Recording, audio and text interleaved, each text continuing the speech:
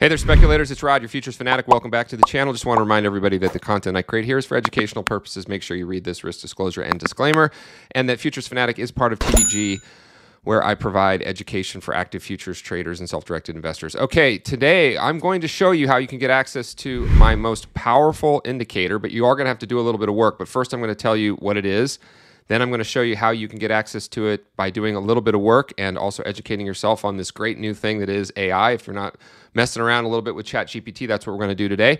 But first, what I want to talk about is what is this indicator? And why should you potentially uh, look to reconstruct it on your TradingView?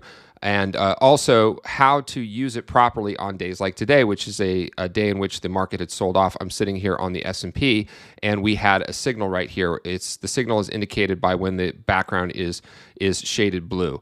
Um, now, the first thing I also want to point out is if you're not already, you can go over and follow me on uh, on Trading View.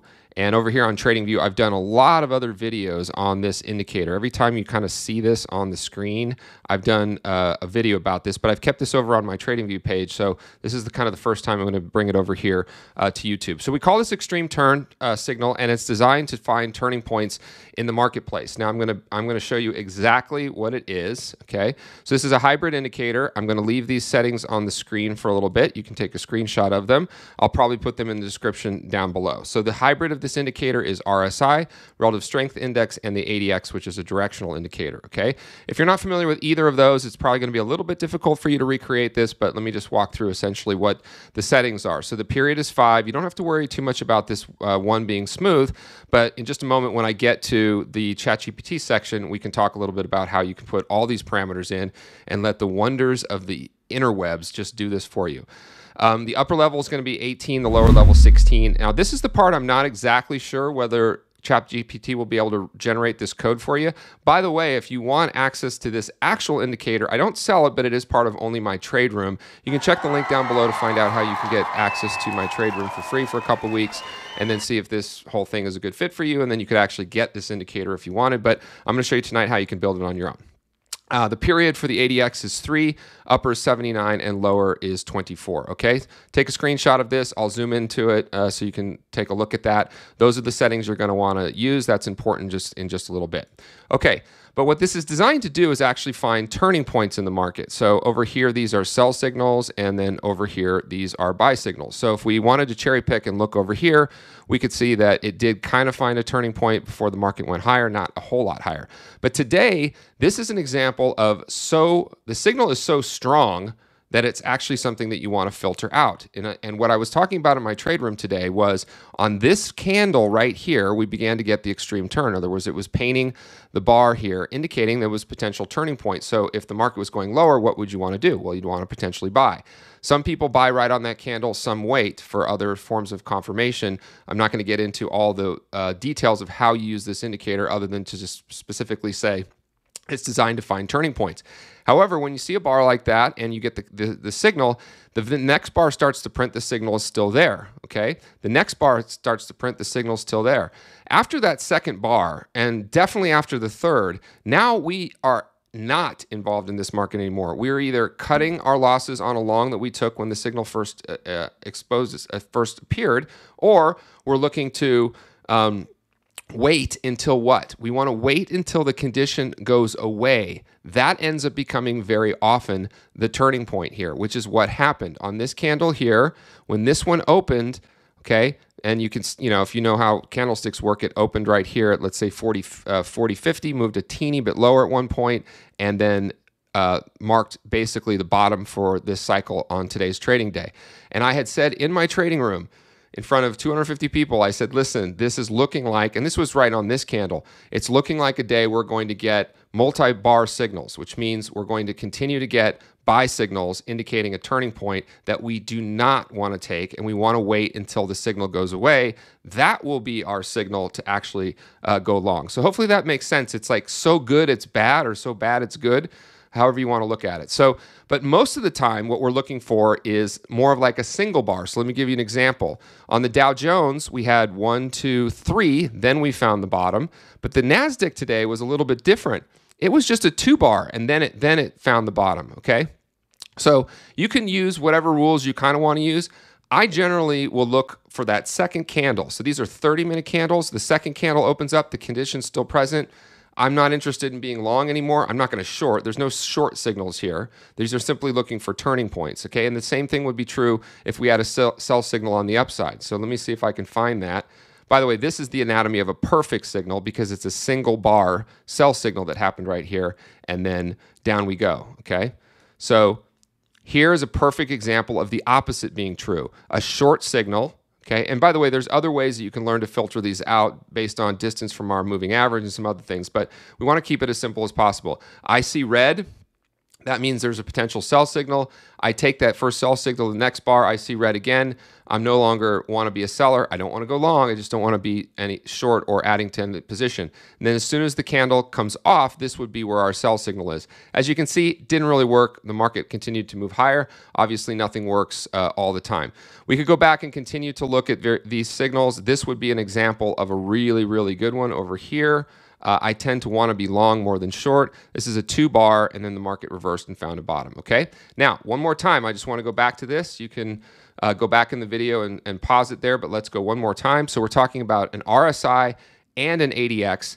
And now let's talk about how you could potentially ask ChatGPT to do this for you. So I've had a lot of fun with ChatGPT. I already have some uh, a prompt in here. I will put a different prompt in, but not the exact prompt. You're going to have to do a little work here, right? So let me show you how I prompt it for something else that I was doing. I was asking it to basically create a very simple strategy, in other words, buy and sell signals when price hit a particular standard deviation away from VWAP. So to be clear, this prompt is not the prompt you'll use, but it should give you some ideas for how you could prompt ChatGPT to write what you want.